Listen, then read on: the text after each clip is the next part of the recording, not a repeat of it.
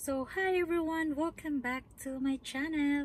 Today's vlog is we are going to buy uh, food from yeah, Thai Mat.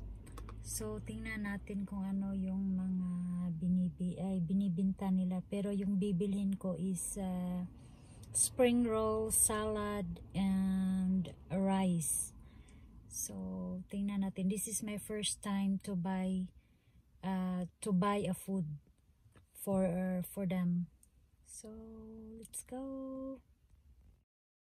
yesterday, but those days when I come back, we went out at night and day. We enjoyed the life. I remember in your car, because top we were tired. Baby, you're my lullaby, you're my daylight.